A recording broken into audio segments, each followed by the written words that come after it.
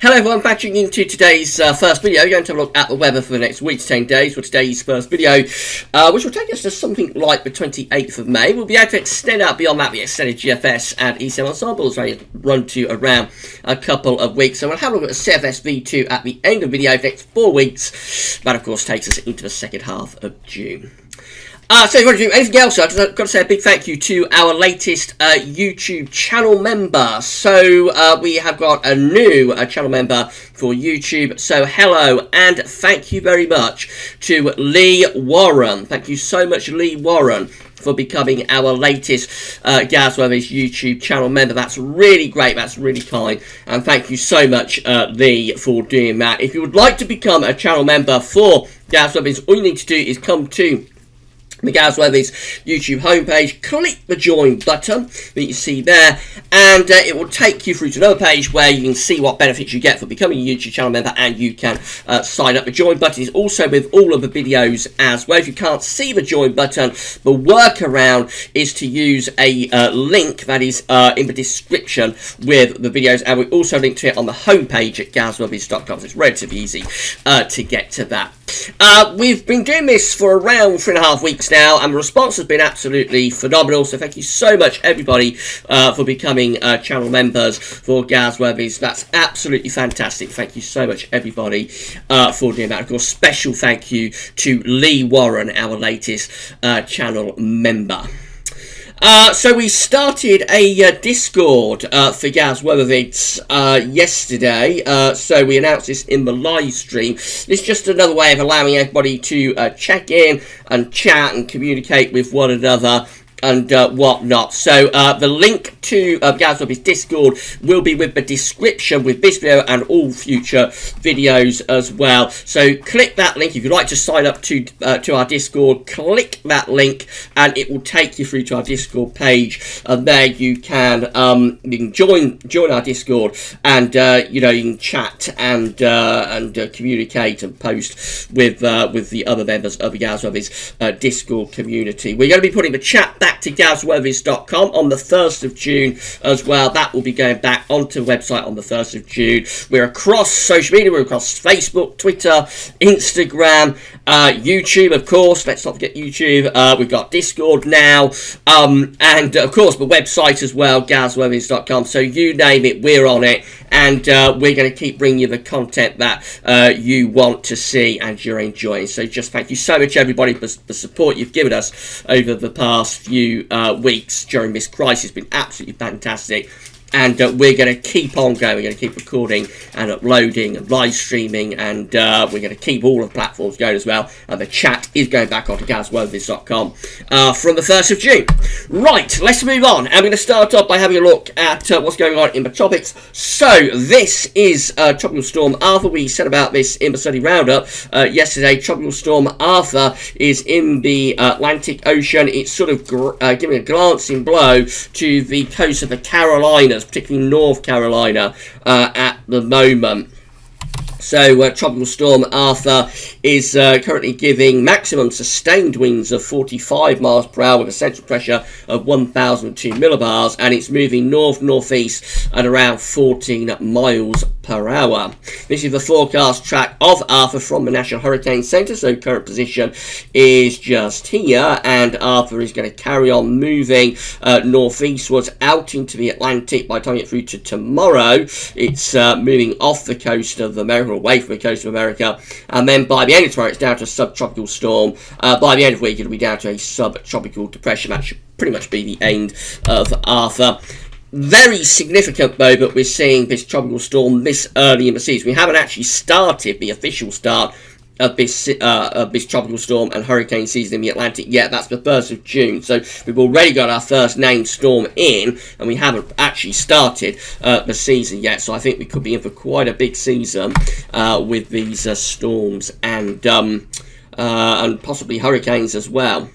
Central temperature uh, is looking like this at the moment. This is provisional uh, to the 17th, to yesterday, uh, standing at 10.6. That's an anomaly of 0.2 of a degree below average. That is provisional to uh, yesterday, so a little bit below average still, but that's going to rise over the next few days. We are in for some very warm weather up to around uh, Wednesday and Thursday anyway. Going to be very warm, temperatures pushing into the possibly even upper 20s Celsius for some southern parts of the country around Wednesday and Thursday. So it's going to get a lot warmer. That CET is going to get a big boost over the um, coming days.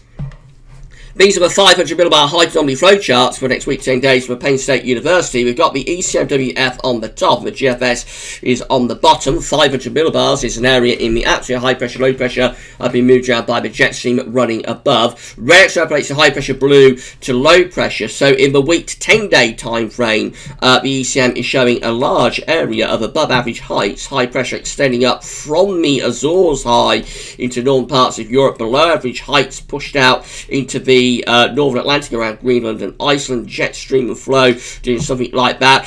That looks like a very warm and dry pattern, really, as we go to the end of May. Remember, this is taking us to like 28th of May, so more or less the end of the month. That looks like a very warm and dry pattern, but is setting up there uh, with the uh, ECM as we move into uh, days 8, 9, 10 uh, sort of time frame. The uh, GFS is also uh, very similar, a little bit flatter with the ridge. The GFS has a ridge just a little bit further uh, southwards, lower pressure up to the north. Jet stream just a little bit flatter uh, with the GFS, but there's not much in it. And uh, overall, I think we could be looking at uh, ongoing signals for the Azores High to be quite rich. Again, we spoke about this yesterday in Gas, obviously around Panty, but live stream. It does look as the Azores High is really quite ridgy at the moment. It's wanting to throw ridges into northern and western Europe, and so I would suspect we're in for more warm and dry weather in uh, in the next week to 10 days. There will be an unsettled interlude as we go into the end of this week with some thunderstorms on Thursday and then maybe some showery rain into Bank Holiday weekend. But I think overall high pressure is never going to be too far away. These are the GFS upper air temperature and precipitation ensembles on at Shrewsbury uh, today. So the red line is the 30 year upper air temperature average for Shrewsbury. Uh, and we're starting off above average at the moment, of course. Temperatures are warm now, going to be staying warm right right way through to the end of the week. Then at the end of the week into the bank holiday weekend, they do uh, drop a little bit. They cool off for a while anyway, but not for all that long. It looks like as we go into next week, actually, the air temperatures are probably going to lift up again. Uh, more than anything. Overall, coming out warmer than average, really, with the uh, upper air temperatures, uh, certainly in the next week to 10 days. Precipitation-wise, quite a bit of dry weather. Coming up over the next few days, it's completely dry until around Thursday. Then Thursday, Friday, might get some heavy showers, maybe a bit of thunder sparking off, going drier again then by the look of it into the bank holiday weekend possibly right at the very end of the chart, taking us to the end of May, beginning of June time, we see more precipitation spikes. But again, that's an extended range. It's unreliable for both the GFS and its ensemble. In the reliable time frame, it looks as though we're more or less on the drier side, really, uh, and quite warm as well. Temperature anomalies from the 18th 26th of May are warmer than average, going to be a milder than average week, or warmer than average week uh, coming up. Precipitation anomalies from the 18th 26th of May, still mostly on the dry and average side, a little bit wetter for northwestern Scotland, but generally we're on the dry and average side, particularly so for England and the Wales. That's how the GFS is looking for Thursday. So on Thursday, we've got high pressure sitting over to the east of the country. Low pressure is out to our west. We are bringing in a trough from off the Atlantic, so that's breaking down the very warm uh, conditions that we've got coming up over the next few days. Uh, Thursday might spark off some heavy showers and thunderstorms. People asking already about Storm Watch. I'll keep it under review. If we get to around middle of the week, it looks like we're going to kick off some big storms on Thursday, then we will do Storm Watch. But I like to wait until that comes into like the high res time frame of the models, um, both for Storm Watch and for Snow Watch, as you all know. Now we go through to Friday and quite a deep area of low pressure then starts to power in from off the Atlantic. That could bring some gales to northern and western parts of Scotland, maybe some more rain. But that one then moves away, that low moves away. It's not long at all into a bank holiday weekend before we're building up this ridge from the south again. So it's just a little interruption really to the dry theme like Thursday, Friday, maybe Saturday, but by Sunday we're already going back to this ridge of high pressure uh, from the Azores, and that uh, taking us into Bank Holiday Monday looks like it could bring some very warm and dry weather to England and Wales for Bank Holiday Monday. We will have a look at the Bank Holiday weekend in detail uh, tonight. We'll do our fifth update for Bank Holiday Weekend tonight. Into uh, tomorrow, uh, into Tuesday, I should say, uh, and again, the high pressure is dominating weather. That high pressure continues to stick around the country and dominate weather as we move up towards day 10. This is Wednesday, 27th of May, a ridge of high pressure sitting over to the east. Again, probably drawing out some very warm air from the south. That could lift temperatures into the uh, into the mid 20s Celsius, I would have thought. Day 10,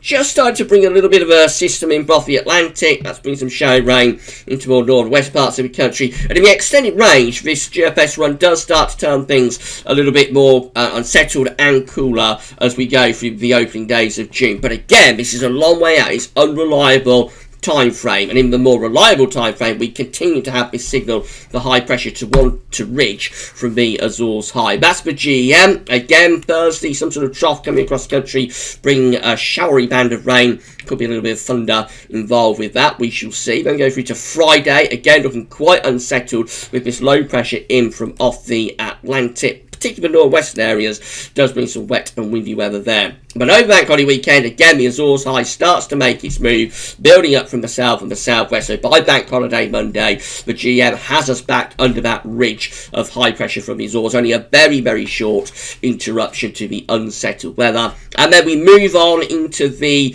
uh, middle of next week, and we're looking very warm here. High pressure over to the east of the country, uh, dragging up very warm air, maybe even quite hot air uh, from the south. There's the upper air temperature showing the plus 15 Celsius isotherm getting towards southern parts of England. This looks like a very warm pattern that's setting up again through the course of next week. By day 10, which is Thursday the 28th of May, possibly then just starting to reintroduce some cooler air from off the Atlantic, but of course that's a long way off. The ECMWF, again, very, very similar could be a bit of a thundery trough on uh, on Thursday. Then Friday, quite a deep area of low pressure just out to west of Ireland could bring some heavy rain and strong winds. Certainly quite unsettled start to Bank Holiday weekend for north and west areas. I doubt there'll be all that much rain down in the south and the southeast. And then as we go through Sunday and into Monday, then the Azores high makes its move again. So by Bank Holiday Monday, we're back under that ridge from the Azores, turning mostly dry. And you would have thought warm or very warm too. Moving up towards day 10, the high pressure goes on. It becomes quite a big area of high pressure actually dominating the weather. So next week, looking completely dry and very warm uh, on that ECM uh, solution.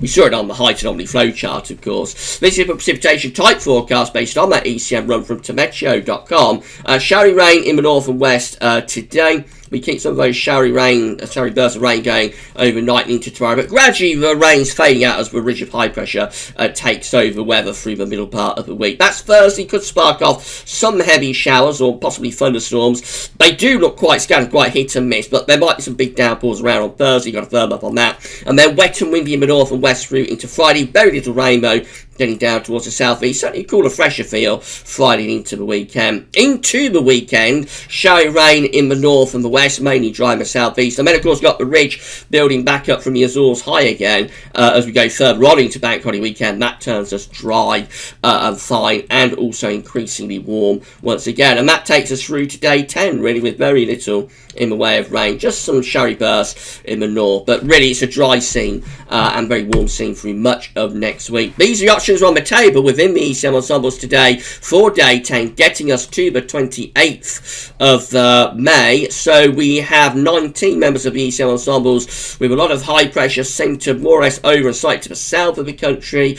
Again, you expect a lot of dry and warm weather with that. That does include the operational run. Uh, another 19 have high pressure more or less over the top of the country. Again, jet streams push northwards. And 13 just here has a high pressure just a little bit more to the southwest and might bring in something slightly more showery and a little bit cooler from the northwest. But really, all options are pointing towards high pressure being very dominant at day 10. In two weeks' time, this is the option that we've got. Gets us to the uh, 2nd of June. Um, an area of above average height centered out to our west then. So possibly a little bit cooler, bringing the wind from the northwest and slightly more showery as we begin June. But of course, this is a really, really long way out. Finally, the CFS V2 means a 500 millibar heights break it down into weekly periods. The first weekly period is going to take us from the 18th to 24th of May. The uh, coming week will be dominated by high pressure sitting over to the south and west of the country, low pressure out to the northwest, jet stream doing something a little bit like that. There's a lot of dry and warm weather to enjoy in the week ahead. Week 2 is the 25th of May to the 31st. Some lower pressure up to the northwest, higher pressure down to the southwest. Winds again rather flat. Could just be a little bit showery in the north, but for the south, still ongoing signals uh, for high pressure to be dominating uh, really. Week three is the 1st to the 7th of June. The first week of June takes a high pressure up to our northeast, probably bringing in a warm to very warm east or southeasterly flow. This low off the coast of Portugal might threaten some heavy rain and thunder to the south, but I think overall it's probably relatively dry. And then week four, look at this, it's the 8th to the 14th of June, high pressure more or less back in over top of the country as well. This looks like it could be uh, a very dry and warm opening to the summer of 2020. Temperature anomalies in the week ahead from the 18th to 24th of May are warmer than average. Uh, week Week 2 temperature anomalies from the 25th to the 31st of May. A little bit cooler average in the north, slightly above average in the south. That means a rather cooler week coming up there. And then go through to week three, which is the 1st to the 7th of June, and the warmer than average temperatures uh, return, and those warmer than average temperatures then take us through into week four, the 8th to the 14th of June, again, is significantly warmer than average. Precipitation anomalies from the 18th to 24th of June, bit wetter than average in the north, a bit drier than average down in the south. Week two, precipitation anomalies for the 25th to 31st of May, again, bit wetter in the north uh, and drier in the south. Uh, and then we have near normal precipitation for week three, the 1st and the 7th of May, that's near normal. And week four finally goes drier than average, quite substantially so, from the 8th to the 14th of June.